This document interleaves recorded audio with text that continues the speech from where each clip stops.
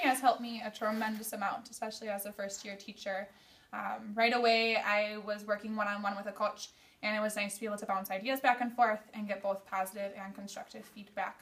Um, I had a coach in my classroom helping me um, model lessons and then able to give me feedback as right off starting, whether it be reading, writing, uh, math, language arts, uh, different aspects all throughout the day, just being able to tell me things I can work on, things they notice, things I might not have noticed, uh, especially as a first year teacher.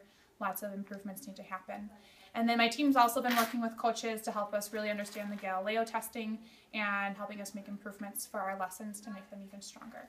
So I would highly recommend coaching um, in all areas.